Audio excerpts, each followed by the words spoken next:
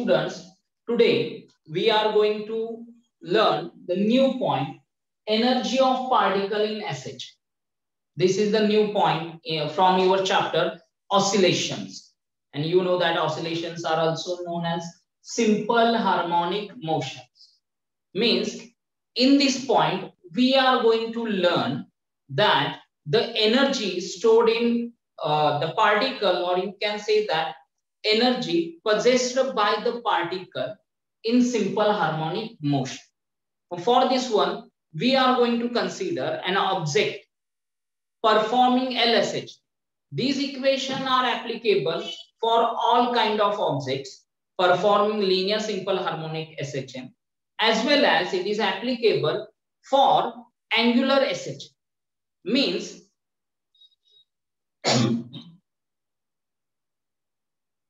means in this chapter the uh, equations of the energy we have been derived are applicable for all kind of simple harmonic motions. Clear? For this one, let's see the diagram here, which I'm going to draw now. Let it is the path of an object performing LSHM. This is the mean position O. A and B are extreme positions. The object is at point P, which is at a distance x from mean position. Okay, and distance OA is nothing but the amplitude A. This is the amplitude of particle.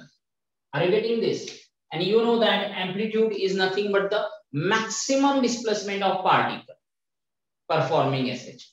Mug A ही maximum displacement आहे आणि X is any instantaneous displacement of object X काय तर any instantaneous displacement of object ठीक आहे मग आता या केसमध्ये त्या ऑब्जेक्ट जवळ कोणत्या कोणत्या एनर्जी असतील?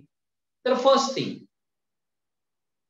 when object perform simple harmonic motion like this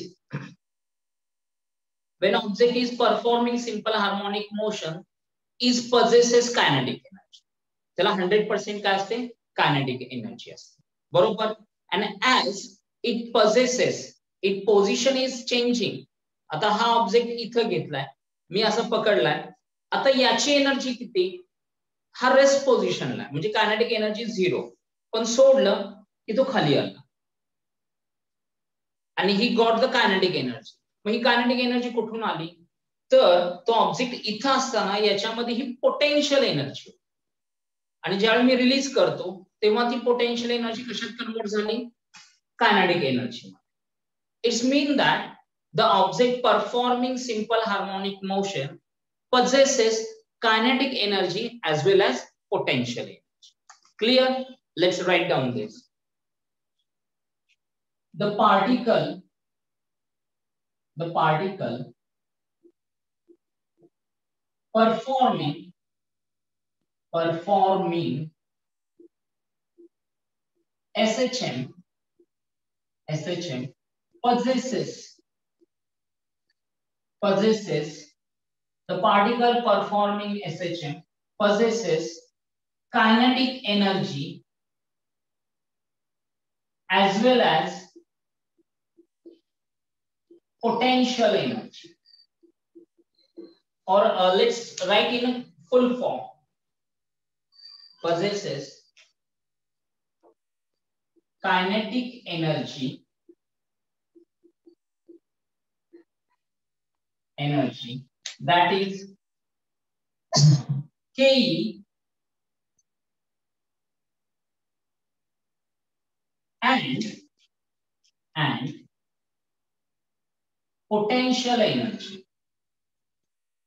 Potential energy. In bracket PE, we are going to write PE. Okay.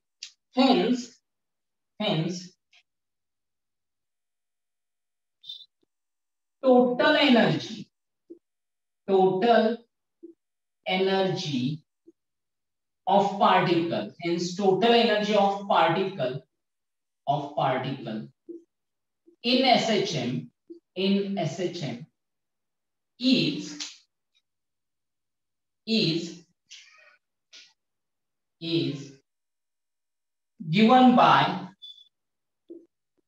sum of sum of its potential energy and kinetic energy and kinetic energy clear but therefore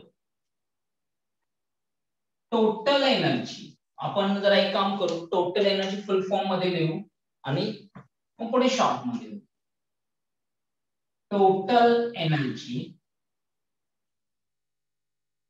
in bracket TE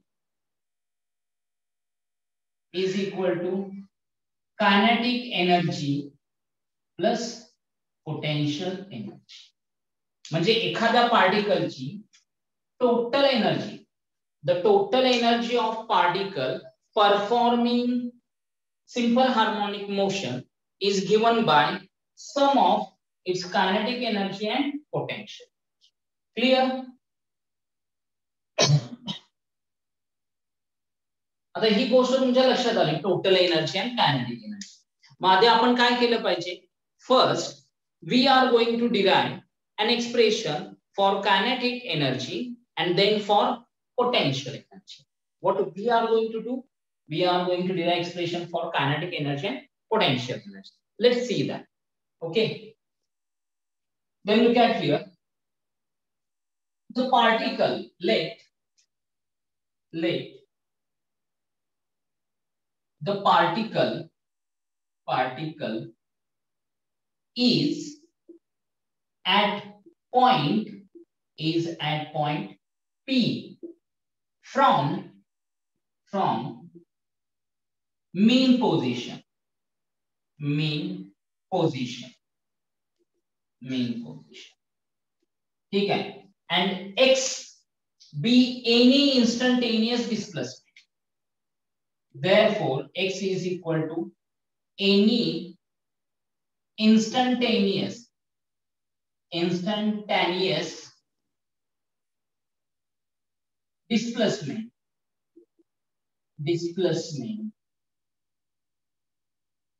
any instantaneous displacement x काय any instantaneous displacement ठीक है मग kinetic energy at point p hence hence kinetic energy at point P is given as is given as what kinetic energy is equal to kinetic energy is equal to half m v square ठीक है where v is what Instantaneous velocity or velocity at point p where I'm going to write with black. Where V is equal to instantaneous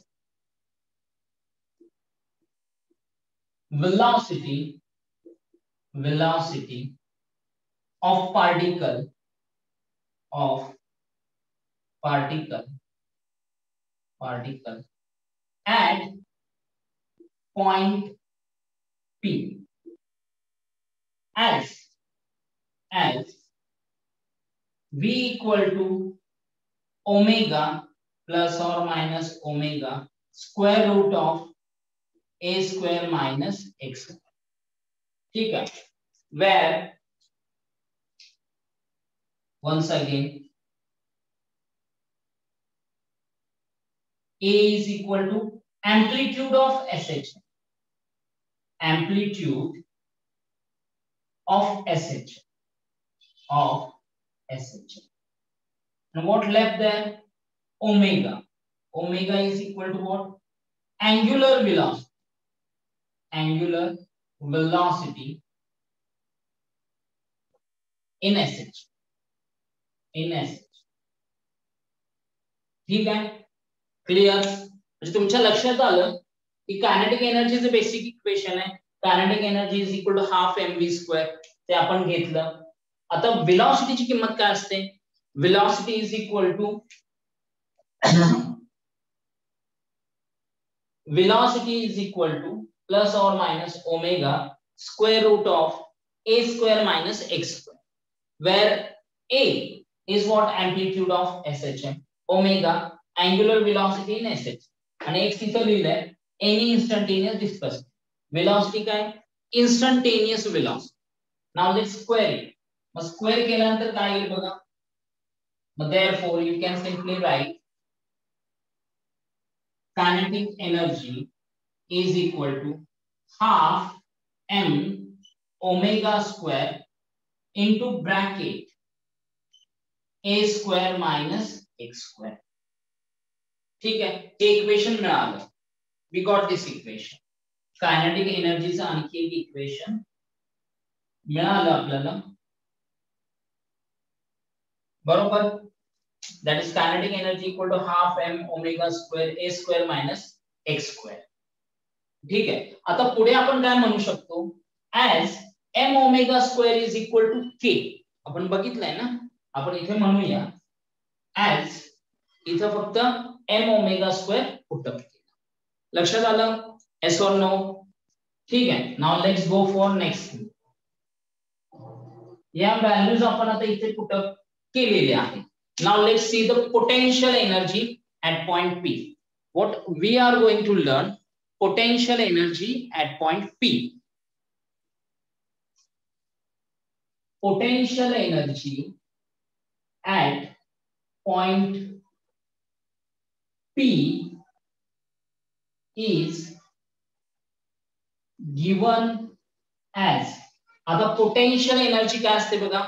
force into displacement किंवा in short you can write that it is the energy stored in the body energy stored in the body hey equation असतं. म्हणजे त्यासाठी आपल्याला work done घेतलं पाहिजे we have to consider the work done clear मग या ठिकाणी करूया is given by potential energy at point P is given by dw is equal to dw is equal to minus f into dx Minus F into D X ठीक है? आता इत घता का minus F का because the displacement work is done against the restoring force where F is what restoring force where F is equal to restoring force. Restoring force. Force. And uh, dx is an elementary displacement. Small displacement. dx is what? Uh, dw is a work done. For displacement, dw. F is a restoring force and dw is work done, work done for, for displacement, displacement dx. ठीक है clear dw is the work done for displacement dx आता इकडे लक्ष द्या as as f is equal to minus kx बरोबर ना आपल्याला restoring फोर्सचा फॉर्म्युला माहिती f equal to minus kx but therefore you can simply write dw is equal to minus into minus kx into dx mug dw काय आलं dw is equal to kx dx ठीक है now for total displacement x the total work done is given by integration of above equation. आता हे DW जे आहे ते small displacement कशासाठी? डीएक्ससाठी. पण समजा एक्स डिस्प्लेसमेंटसाठी टोटल वर्क डन किती झालं? ते कसं काढणार? तर आपल्याला हे इंटिग्रेट करायचं मग integrating above equation integrating above equation integrating above equation what we get इथे काम इकडे लक्ष द्या. आपण काय केलं? इंटिग्रेशन घेतलं.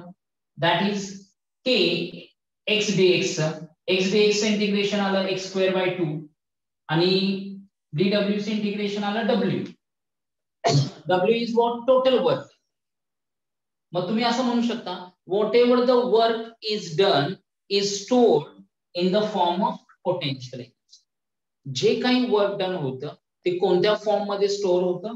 Potential energy mug for potential energy is equal हा. K X square clear okay done you can see that hey equation मिळालंय. आता as as k equal to m omega square. k is equal to m omega square. But therefore, potential energy is equal to Kalina. You can simply write. Therefore, potential energy is equal to half m omega square x square. Clear? Carried out? You can see it it is very easy equation फक्त आपण k ची value put up केली. And we have two equations आपल्याला potential energy चे दोन equation मिळाले. आता पुढची टर्म बघा. As total energy is equal to kinetic energy plus potential energy then you can simply write as total energy is equal to potential energy plus kinetic energy kinetic energy plus potential it doesn't matter plus potential energy therefore you can write therefore total energy is equal to kinetic energy kind half k a square minus half K X square he kinetic energy आली ना केच्या form मध्ये आणि plus काय लिहिणार half K X square what you get here therefore you will get total energy is equal to half k a square or is equal to what half m omega square a square. And you can see that it is constant.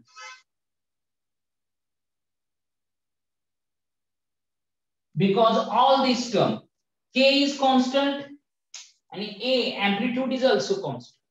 Hence, in SHM, total energy is constant. Clear? Can you see that? Yes.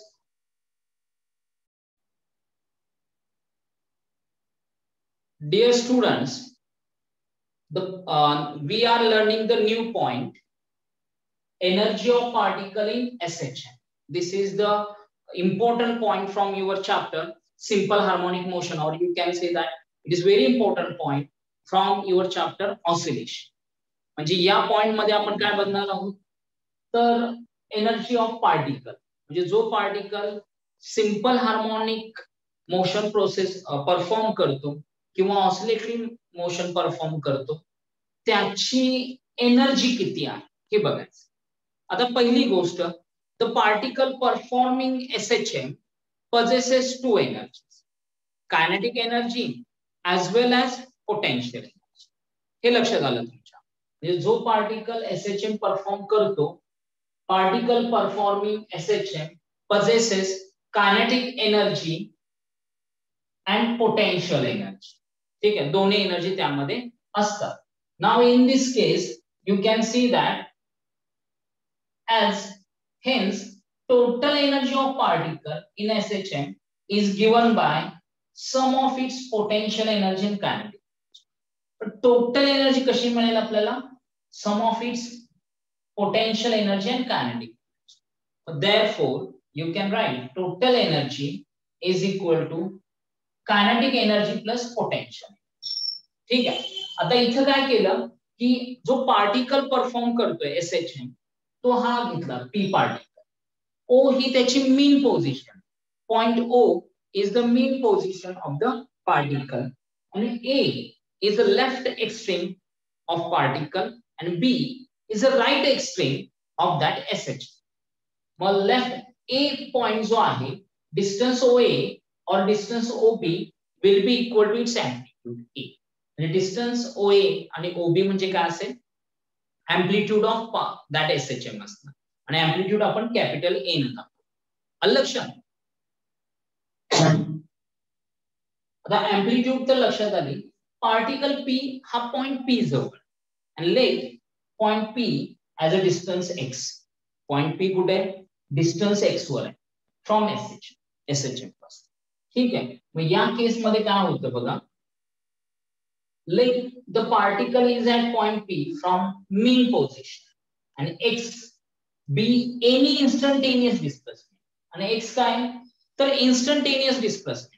म्हणजे कोणत्याही any displacement ठीक मग आता kinetic energy at point P काय येणार बघा? Energy at point P is given as ती कशी energy is equal to half M V square काय म्हटलं मी?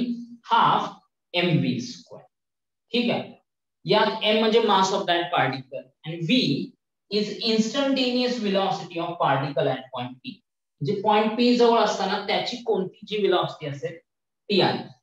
मग आपण काय केलं? विलॉसिटीच इक्वेशन माहिती we know the equation of velocity what is it plus or minus omega square root of A square minus X square बरोबर? समजलं? V equal to plus or minus omega square root of A square minus X square where A is amplitude आणि omega काय रे बाळांनो? Omega is angular velocity angular velocity किंवा angular frequency in एसेज जर च्या ठिकाणी आपण ही व्हॅल्यू पुटअप केली तर काय होणार? याचा स्क्वेअर होईल. मग स्क्वेअर झाल्यानंतर काय येईल बघा? Kinetic energy is equal to half M as it is omega square आणि हे स्क्वेअर रूट निघून जाईल. ब्रॅकेटमध्ये काय राहणार? A square minus X therefore kinetic energy is equal to what? Half m omega square a square minus x.